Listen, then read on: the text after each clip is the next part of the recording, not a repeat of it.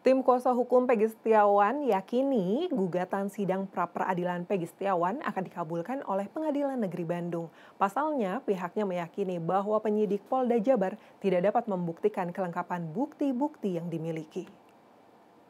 Formil materialnya Hal tersebut disampaikan tim kuasa hukum Pegi Setiawan, Insang Nasrudin, di hadapan wartawan sebelum sidang pra-peradilan digelar pada Kamis. Ahli yang dihadirkan dalam persidangan oleh tim kuasa hukum Pegi Setiawan merupakan ahli pidana yang objektif atau tanpa direkayasa. Termasuk empat orang saksi yang dihadirkan oleh pemohon pada persidangan yang digelar Rabu 3 Juli kemarin. Pihaknya menginginkan proses penegakan hukum yang adil. Mereka periksa di dalam BAP itu kan ada empat ahli.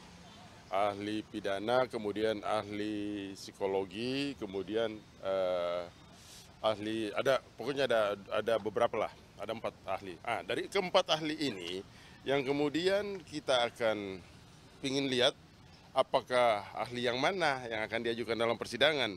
Tapi kalau pemikiran saya karena ini sifatnya pra peradilan mengukur uh, terhadap formalitas maka sebaiknya yang dia hadirkan adalah ahli hukum pidana. Kira-kira demikian. Menurut hemat saya kalau sudah dikirim berkas kemudian ternyata penyelidikannya masih ada yang kurang.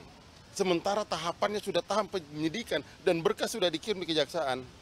Saya sangat menduga bahwa ada bukti yang berkaitan dengan terpenuhinya unsur tidak mampu di, dilengkapi oleh pihak Polda Jawa Barat.